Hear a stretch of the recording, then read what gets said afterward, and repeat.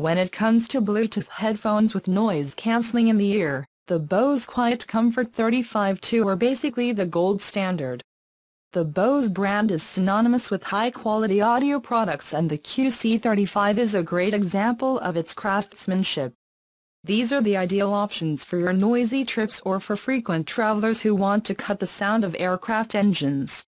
It is important to eliminate that distracting noise and with 20 hours of battery life, you can use them comfortably for hours without worrying about them dying.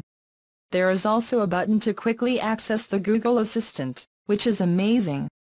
Sure, these puppies will cost you $349, which is a fair price for what is undoubtedly the best headset with noise cancellation. They have been well reviewed by most people who have tried them. If noise cancellation and comfort are your main factors when buying headphones, you should consider Bose.